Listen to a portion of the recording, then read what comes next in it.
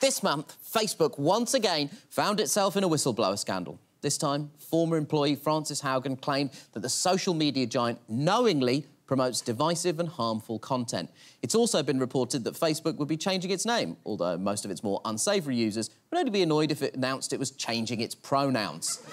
to talk about this and hopefully show how we here at Late Night Mash can get a few clips going viral on Facebook, here's comedian and computer scientist Olga Koch!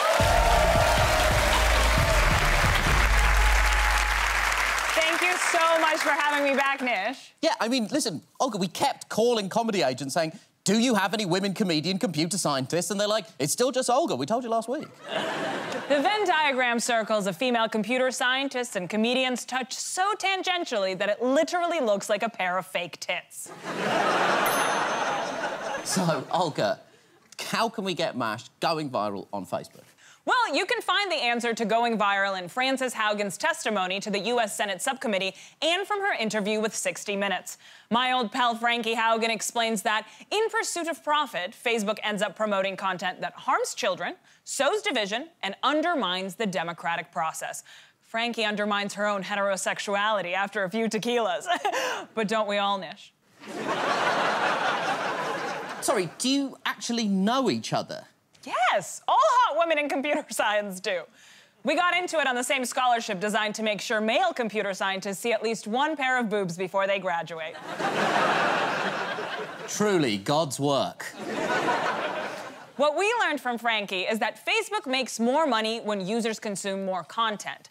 And it turns out that users tend to engage with posts that elicit a strong emotional response. The angrier they get, the more they interact, and the more they consume.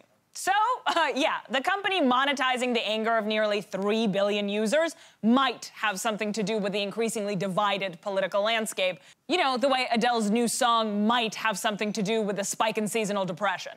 and honestly, it makes sense. More extreme opinions do lead to stronger responses. Take a look at these status updates. Nish is quite good on late night MASH. Respect. Thank you, Bishop. A gentle post, only a very slight reaction from Nish. But now, look at this. I live next door to Nish Kumar, and he plays Enya at antisocial volumes. Well, it's not my fault. You don't know how to feel, Roy Hobbs.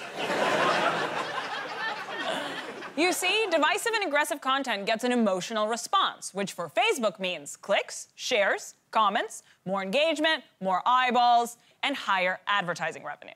So, Olga, have political parties spotted this issue and are they dealing with it? They have spotted that Facebook promotes more polarizing content, but so far, many of them are dealing with it as a political strategy by adopting more extreme views in order to get engagement.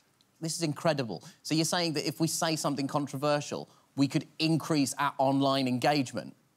On another note, I don't care for the Korean pop group BTS. no! They'll come for you, Nish.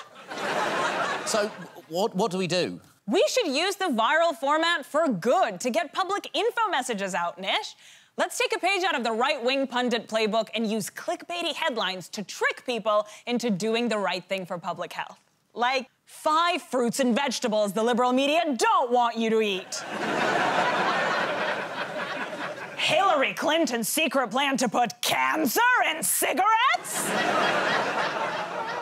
Woman saves 10,000 pounds a year doing makeup on only half her face. Okay, that is actually an amazing idea. So, how do we get late night mash going viral?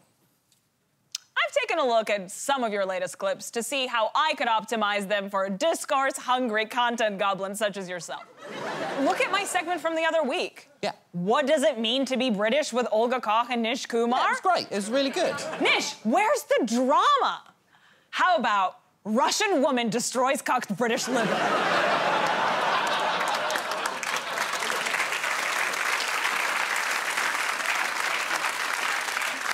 Much better.